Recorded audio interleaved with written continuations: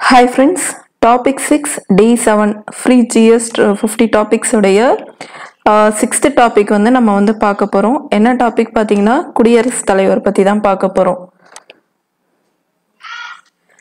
So இந்த topic வந்து பார்த்திங்கன்னா நமக்கு வந்து ஸ்ட்ரெயிட்டாக வந்து சிலபஸில் வந்து கொடுத்துருக்க மாட்டாங்க. பட் யூனியன் எக்ஸிக்யூட்டிவ் கொடுத்துருப்பாங்க. ஒன்றிய நிர்வாகம்.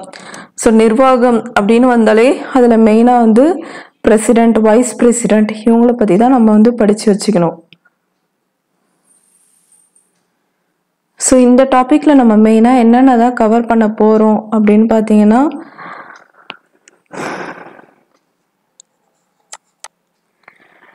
ஜென்ரலாக பேசிக்காக பிரசிடென்ட் சம்மந்தமான ஒரு இன்ட்ரொடக்ஷன் அண்ட் uh, அவரை செலக்ட் பண்ணுறதுக்கான குவாலிஃபிகேஷன் எப்படி செலக்ட் பண்ணுறாங்க அதுக்கான அந்த எலெக்ஷன் ப்ராசஸ் அப்புறம் ஓவரால் அவருடைய பதவிக்காலம் ஊதியம் அப்புறம் பதவி நீக்கம் அது ஒரு பெரிய process and vacancies and powers of president so இது எல்லாமே நான் கொஞ்சம் வைட் ஆஸ்பெக்டில் தான் வந்து உங்களுக்கு தரப்போகிறேன் ஸோ கிளாஸஸ் வந்து நல்லா கவனிங்க.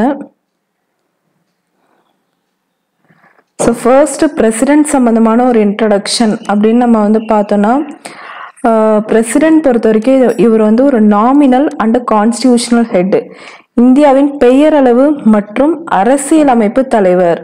அதாவது பெயர் அளவில் மட்டும்தான். பிரசிடெண்ட் தான் இங்கே வந்து ஃபர்ஸ்ட் சிட்டிசன் இவர் பேரில் தான் எல்லாமே இங்கே நடக்கும். எல்லாமே ஓகே தான். பட் இவர் வந்து எல்லாமே பெயர் அளவில் மட்டும்தான். ரியல் யாரும் பார்த்தீங்கன்னா பிரைம் மினிஸ்டர் தான்.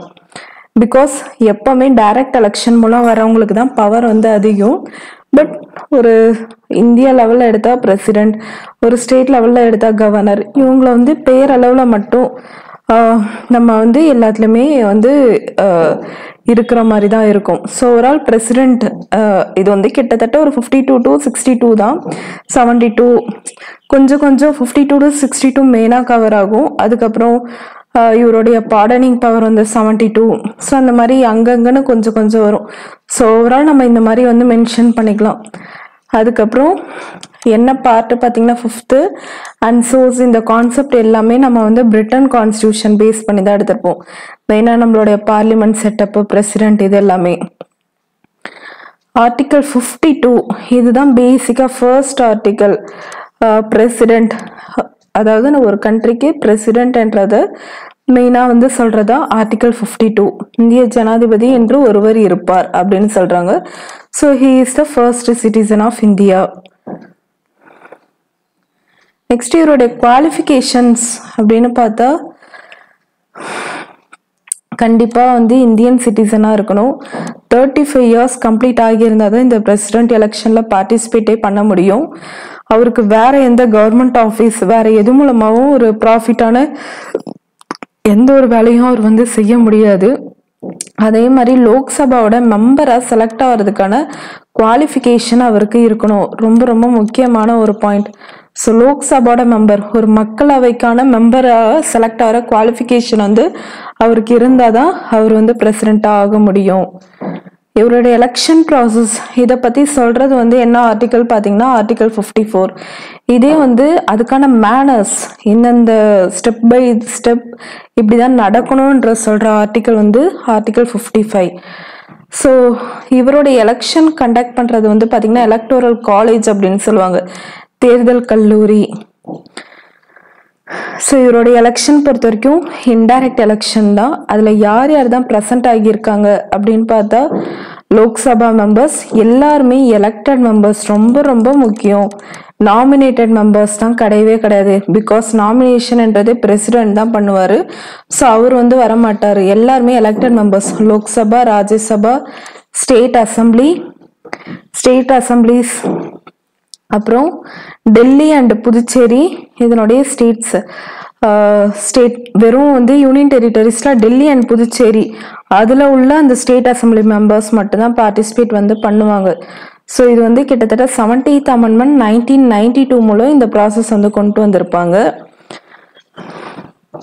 ஸோ தேர்ந்தெடுக்கப்பட்ட உறுப்பினர்கள் லோக்சபா மக்களவை ராஜ்யசபா மாநில சட்டசபைகள் டெல்லி மற்றும் பாண்டிச்சேரி மாநில சட்டசபைகள். ஸோ இந்த அமெண்ட்மெண்ட் மூலமாக தான் இந்த டெல்லி அண்ட் பாண்டிச்சேரி ஸ்டேட் அசம்பிளிஸில் உள்ள மெம்பர் வந்து பார்ட்டிசிபேட் பண்ணுறதை கொண்டு வந்திருந்தாங்க.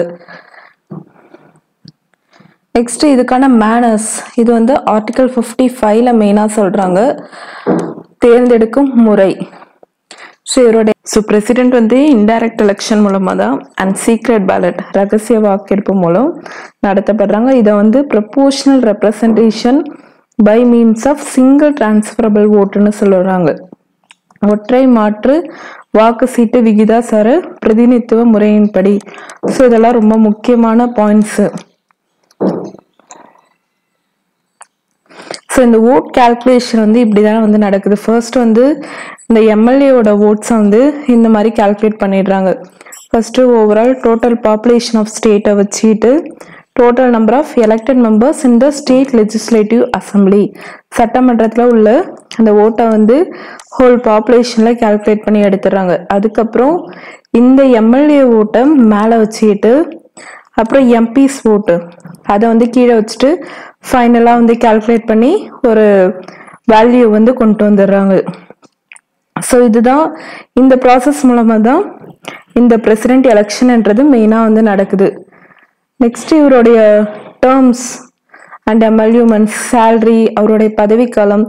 ஸோ டேர்ம்ஸ் வந்து பார்த்தீங்கன்னா fifty six article fifty six so five years இருப்பார். ஸோ அந்த மாதிரி ஞாபகம் வச்சுக்கோங்க. ஸோ ஃபைவ் இயர்ஸ் தான் அவருடைய டேர்மு அண்டு அவருடைய ரிசைனேஷன் இது வந்து பார்த்திங்கன்னா மெயினாக வந்து அவர் யார்கிட்ட தரார் அப்படின்னு பார்த்தா வைஸ் பிரசிடெண்ட்டாக வந்து தருவார். ஸோ அவருடைய ரிசைனேஷன் பிரசிடெண்ட்டோட இந்த ரிசைனேஷனை இம்பீச்மெண்ட் அப்படின்னு சொல்லுவாங்க. இது வந்து அவ்வளோ ஈஸியான ஒரு விஷயம் வந்து கிடையாது.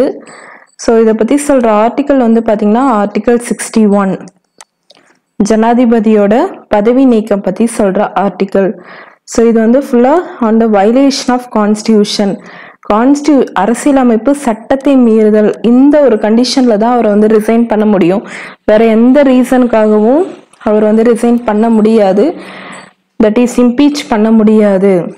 வயலேஷன் ஆஃப் கான்ஸ்டியூஷன் பிகாஸ் இந்த கான்ஸ்டியூஷனுடைய எல்லா பெயரளவும் பொறுப்பும் வந்து பிரசிடென்ட்டுக்கு தான் உண்டு. அதை வந்து இவர் மீறும்போது இவரை வந்து இம்பீச் பண்ணலாம். ஸோ இந்த சார்ஜஸ் வந்து எந்த ஹவுஸ்ல வேணாலும் ஸ்டார்ட் பண்ணலாம். Either Lok Sabha or Rajya Sabha. So அவருடைய இந்த இம்பீச்மெண்ட் ப்ராசஸ்ல வந்து பார்த்தீங்கன்னா எல்லாருமே வந்து பார்ட்டிசிபேட் பண்ணிக்கலாம். எலெக்டட் அண்ட் நாமினேட்டட் மெம்பர்ஸ் இதே அவருடைய செலெக்ஷன் ப்ராசஸில் எலெக்டட் மெம்பர்ஸ் மட்டும்தான் லோக்சபா அண்ட் ராஜ்யசபாலேருந்து பார்ட்டிசிபேட் பண்ணுவாங்க.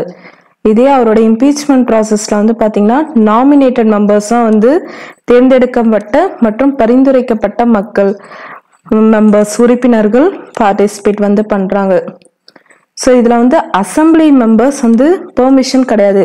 எலெக்ஷன் ப்ராசஸ்லாம் அவங்க உண்டு. ஆனால் இங்கே வந்து பெர்மிஷன் கிடையாது. வெறும் அந்த members of Lok Sabha and Rajya Sabha தான். ஸோ இதோட சார்ஜஸ் வந்து சைன் பண்ணும்போது பார்த்தீங்கன்னா ஒன் ஃபோர்த் மெம்பர்ஸ் வந்து சைன் பண்ணியிருக்கணும். ஒரு இரநூறு பேர் இருக்காங்கன்னா அட்லீஸ்ட் ஐம்பது பேர் அது சைன் பண்ணியிருக்கணும். ஃபர்ஸ்ட் இந்த மாதிரி இம்பீச்மெண்ட் பண்ணலான்ற ஒரு charges so fourteen days notice வந்து பிரசிடென்ட்டுக்கு வந்து தருவாங்க. அதுக்கப்புறம் இது பாஸ் பண்ணதுக்கப்புறம் பார்த்தீங்கன்னா இந்த மாதிரி இம்பீச்மெண்ட் அப்படின்னு ஒரு இது சார்ஜஸ்னு வரும்போது ஒன் ஃபோர்த் ஆஃப் மெம்பர்ஸ் அப்புறம் இம்பீச்மெண்ட் அப்படின்னு பாஸ் ஆனதுக்கப்புறம் டூ தேர்ட் ஆஃப் மெஜாரிட்டி அந்த ஹவுஸில் வந்து டூ தேர்டு ஒரு அறநூறு பேர் இருக்காங்கன்னா அதில் வந்து டூ தேர்டு அட்லீஸ்ட் ஒரு நானூறு பேர் அது அதுக்கான அந்த அப்ரூவல் வந்து தந்திருக்கணும். அதுக்கப்புறம் இதே மாதிரி ப்ராசஸில் அடுத்த ஹவுஸ்க்கு வந்து போகும். அங்கேயும் டூ தேர்ட் ஆஃப் மெஜாரிட்டி வந்து சைன் பண்ணியிருக்கணும். ஸோ இது வரைக்கும் மெயினாக எந்த பிரசிடெண்ட்டும் வந்து இம்பீச்மெண்ட் ஆனதில்லை.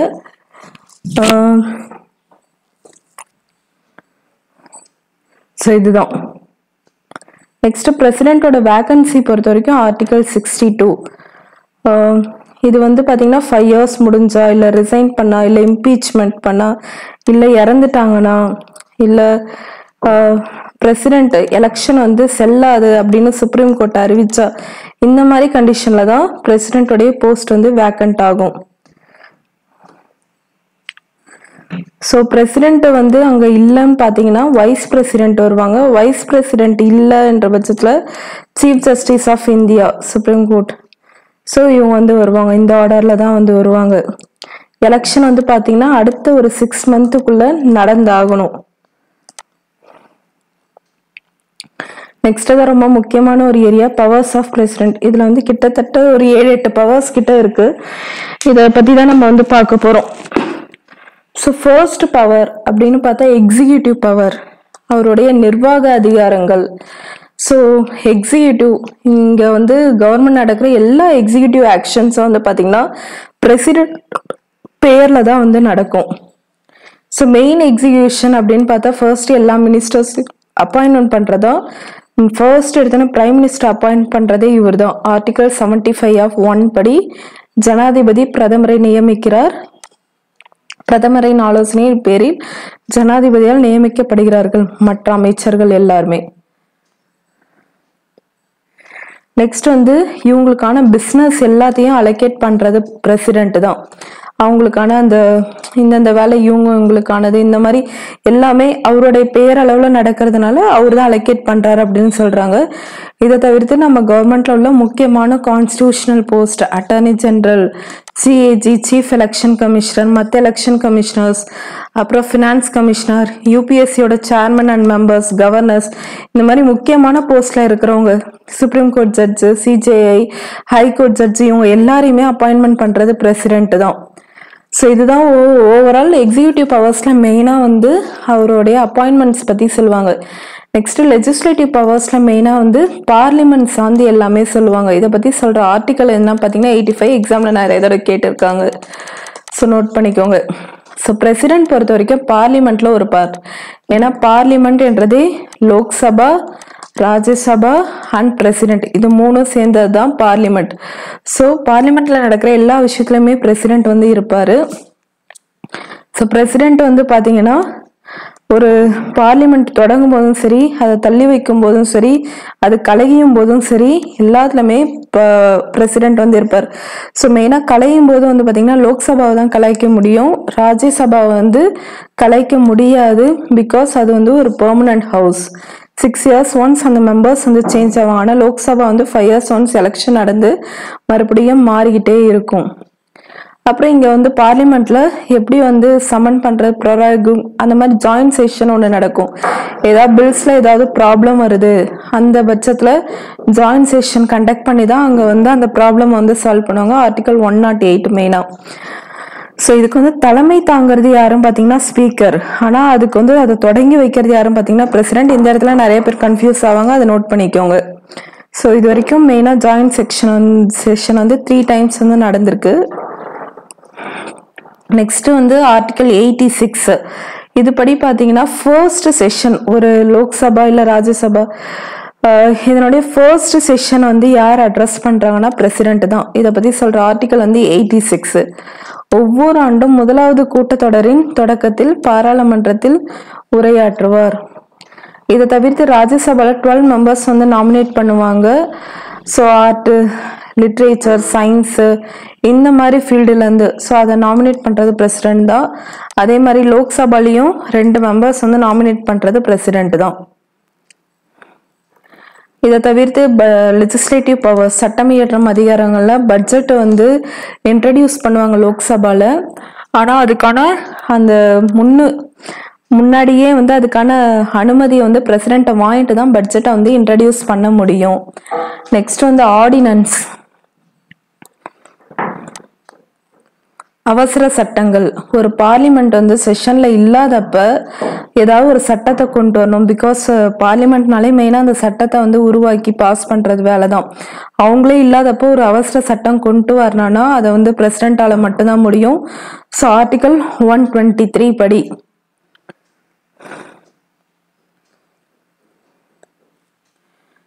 ஸோ இதை தவிர்த்து வந்து நிறைய reports CAG UPSC finance commissioners இவங்களுடைய ரிப்போர்ட்ஸ் எல்லாத்தையுமே பார்லிமெண்ட்டில் சப்மிட் பண்ணுறது யாரும் பார்த்தீங்கன்னா பிரசிடென்ட்டு தான்.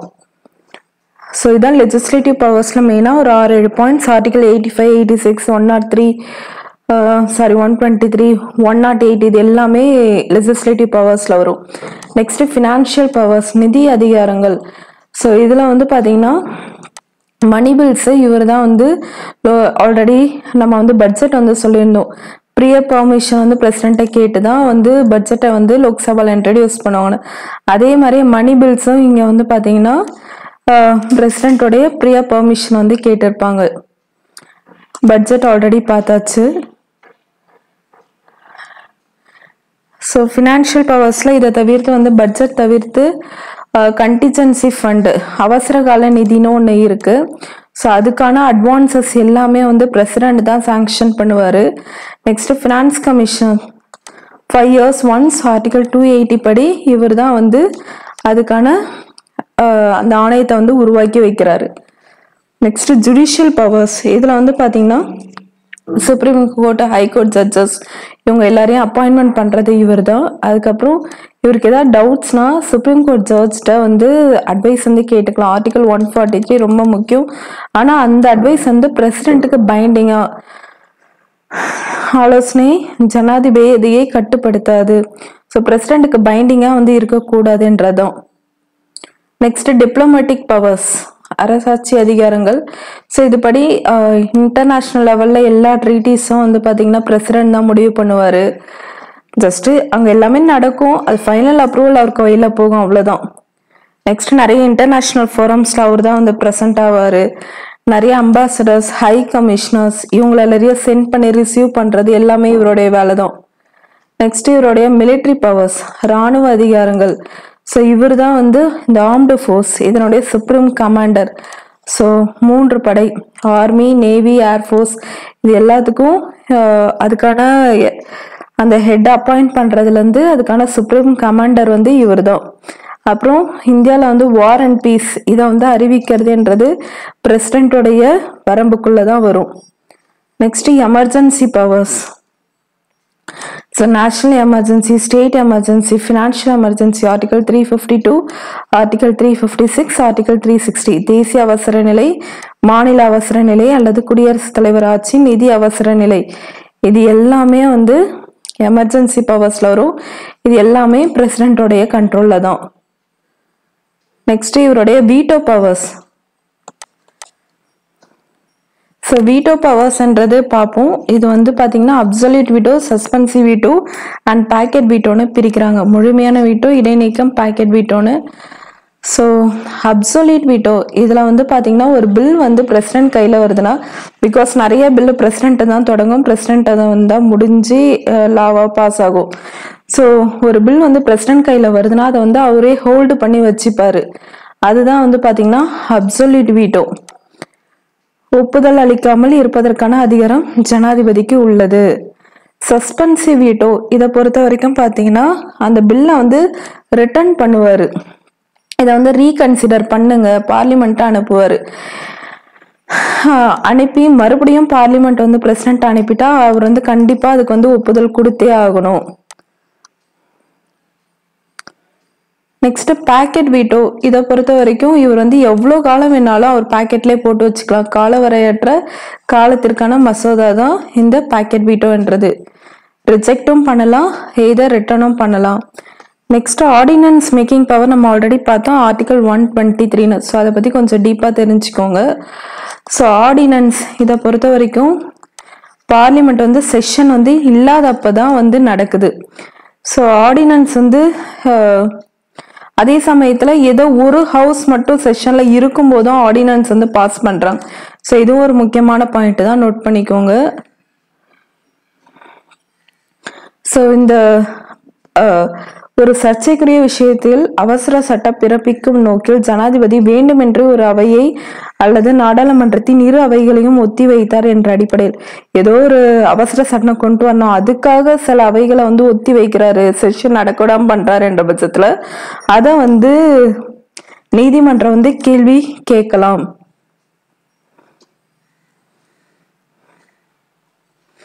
ஸோ ஆர்டினன்ஸ் வந்து பாஸ் பண்ணி அதுக்கப்புறம் அது வந்து ரீஅசம்பிள் அந்த ஹவுஸ் வந்து ரீஅசம்பிள் ஆனதுக்கப்புறம் அது வந்து பார்லிமெண்ட்டை வரும்.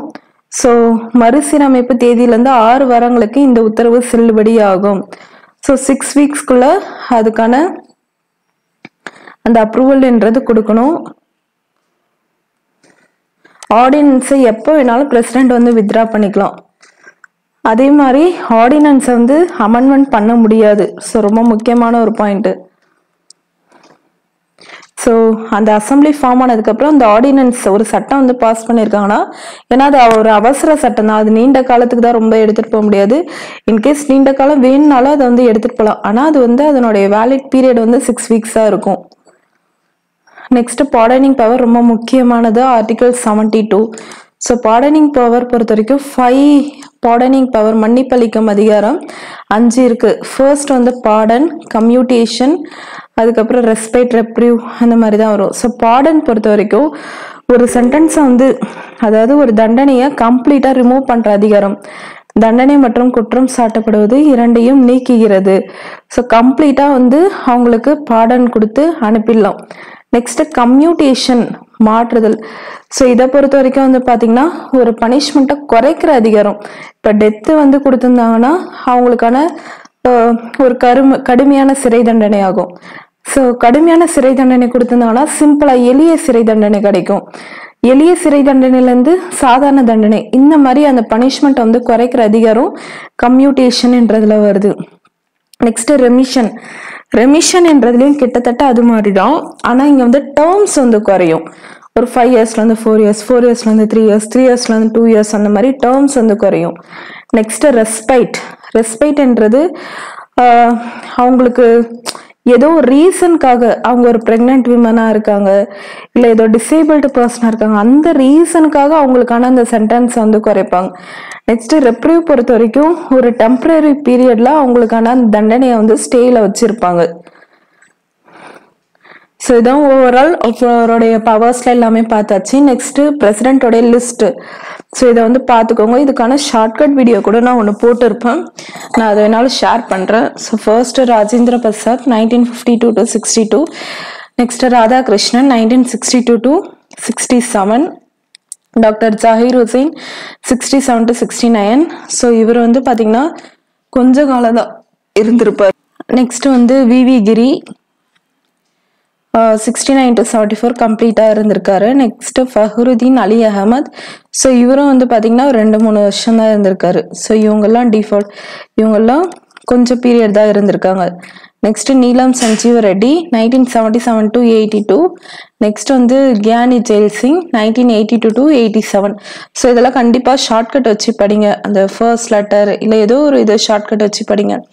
Next Venkataraman nineteen eighty seven to ninety two இதில் மேக்ஸிமம் நிறைய பேர் வைஸ் பிரசிடெண்ட்டாக இருந்து வந்திருப்பாங்க. Next Shankar Dayal Sharma nineteen ninety two ninety seven KR Narayanan ninety seven to two thousand two Abdul Kalam two thousand two to two thousand seven next Pratibha Patil two thousand seven to twelve Pranab Mukherjee twelve to seventeen Ramnath Kovind seventeen to twenty two Droupadi Murmu two thousand twenty டூலேருந்து இப்போ வரைக்கும் இருந்துட்டு இருக்காங்க. So இதான் overall president பற்றி நமக்கு group one based so டிஎன்பிஎஸ்சில் high level exam தான். அந்த ஸ்டாண்டர்டில் ஓரளவுக்கு நான் கம்ப்ளீட் பண்ணிட்டேன். ஸோ இதை வந்து தரவாக வந்து படிச்சுக்கோங்க. தேங்க்யூ